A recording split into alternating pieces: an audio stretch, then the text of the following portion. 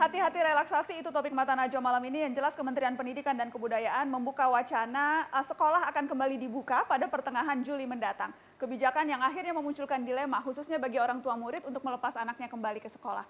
Bagaimana orang tua dan murid menyikapi wacana ini? Saya sudah terhubung dengan Widiawati, orang tua murid yang hendak masuk sekolah dasar dari jenjang TK dan ada Anggita Pramudiowati, murid SMP yang mempersiapkan diri memasuki jenjang SMA. Selamat malam Anggita, selamat malam Ibu Widiawati. Selamat malam. Saya ke Ibu Widiawati dulu. Ibu, eh, kalau jadi wacananya pertengahan Juli masuk, itu uh, Ibu senang karena akhirnya anak bisa masuk SD atau deg-degan malahan? uh, kalau saya terus terang masih deg-degan sih, Mbak. Karena uh, lihat situasi seperti ini uh, kayak masih belum yakin, masih belum ikhlas buat anak uh, masuk sekolah. Belum ikhlas kenapa, Ibu? Karena kalau, uh, ngelihat situasi yang sekarang, uh, kalau dengar berita aja, itu tiap hari, uh, penambahan kasus tuh selalu ada. Bukannya turun tapi malah ada terus, itu yang bikin saya deg-degan sih untuk ngelepasin anak sekolah. Hmm, sekarang anak belajar di rumah, ibu yang pegang sendiri?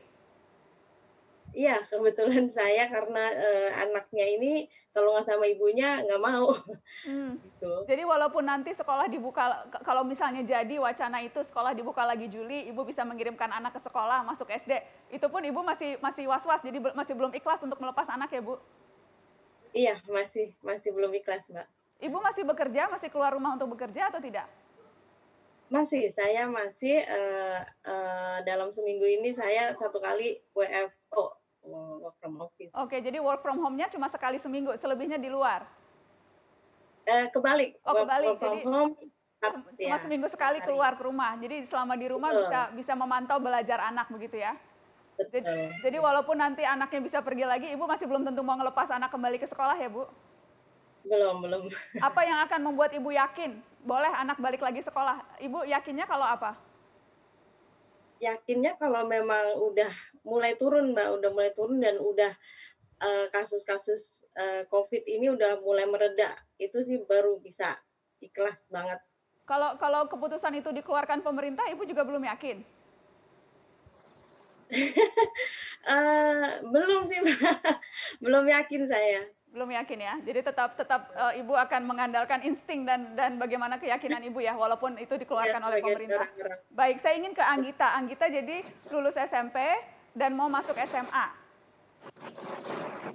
Sudah kangen sekolah, Anggita? Iya. Anggita sudah kangen sekolah? Gimana Mbak? Anggita sudah kangen mau balik sekolah lagi, mau mas mau jadi anak SMA loh. Udah kangen mau sekolah lagi? Iya kangen, kangen suasana kelas, suasana sekolah yang banyak teman gitu loh. Hmm.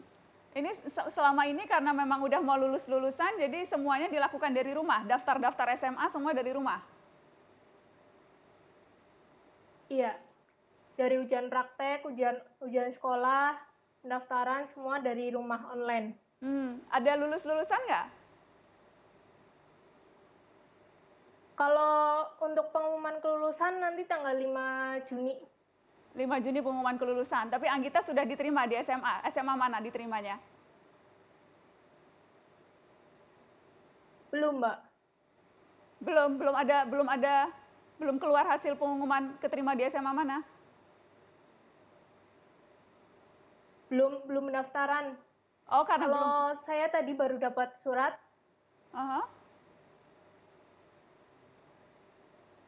Gimana? saya tadi baru dapat surat dari Kementerian saya tadi baru dapat surat dari Dinas Pendidikan Provinsi Jawa Tengah Aha.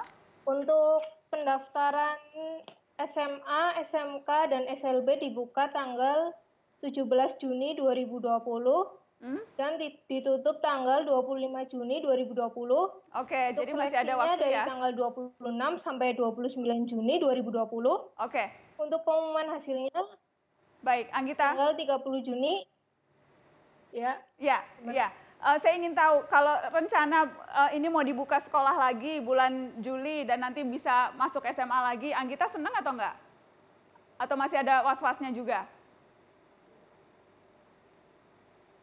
Kalau misal wabah ini belum beres, kalau bisa jangan dulu karena dapat menimbulkan dampak yang besar bisa mewabah lebih lebih banyak lagi, lebih bisa karena anak-anak rentan tertular. Hmm. Jadi walaupun bosen di rumah, walaupun kangen sekolah, kalau wabahnya belum betul-betul terkendali, Anggita nggak apa-apa tetap di rumah aja ya? Ya. Oke, terima kasih Anggita. Terima kasih Ibu Widiawati sudah sudah berbagi keresahan di Mata Najwa malam ini. Saya ingin ke Pak Juri, uh, Deputi 4 Kepala Staf Kepresidenan. Pak Juri, tadi kita dengarkan uh, ada bagaimana dilema yang dihadapi oleh pekerja industri kreatif, pedagang UMKM, kemudian ibu rumah tangga, orang tua murid dan murid. Semuanya ya kepengen semuanya normal, tapi masih ada kekhawatiran dan tidak yakin angka-angka ini akan bisa membuat mereka ikhlas betul-betul kembali beraktivitas. Tanggapan Anda Pak Yuri? Ya, pertama uh, begini, Mbak. Jadi pemerintah melalui presiden selalu uh, berulang mengatakan bahwa penanganan COVID juga tidak boleh kita melupakan penanganan sektor lain, ya ini soal ekonomi. Bagaimana ekonomi tetap uh, bekerja memenuhi kebutuhan masyarakat. Nah, uh, tetapi kita juga harus menghitung betul dampak dari kemungkinan kegiatan ekonomi itu akan menjadi sumber masalah menjadi lebih besar dalam hal eh, penularan wabah ini. Jadi oleh karena itu memang Presiden selalu mengatakan eh, terkait dengan wacana relaksasi itu harus dihitung secara matang, hati-hati, lihat timingnya, jangan sampai kita terburu-buru. Relaksasi harus semata-mata didasarkan pada data, data yang ada di lapangan. Apakah betul-betul apa yang tadi disampaikan oleh Pak Pandu misalnya sudah eh, apa eh, sudah bisa dicapai atau belum. Misalnya tadi penurunan kasus secara konsisten.